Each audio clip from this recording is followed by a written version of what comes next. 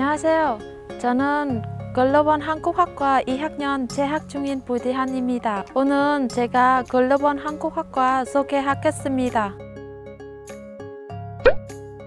전공에 들어서서는 한국 학문이라고 해서 한국의 경제, 문화, 사회, 한국의 전반적인 부분에 대해 학생들이 어떤 것을 알아야 하는지 알아주고 있습니다.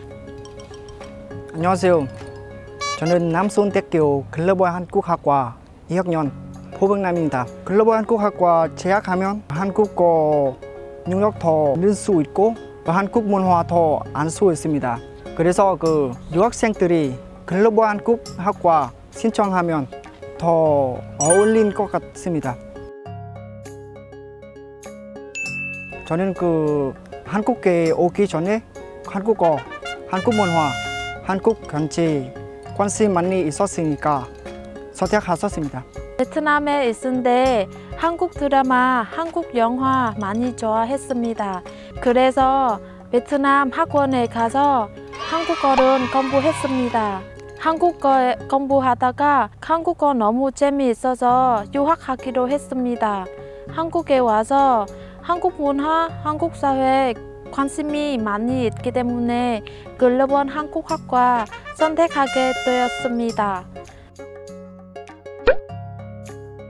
올해 글로벌 한국학과 처음 학기이라서 행사거나 동아리에 아직 없지만 미래에 동아리를 만들고 생각하고 있습니다.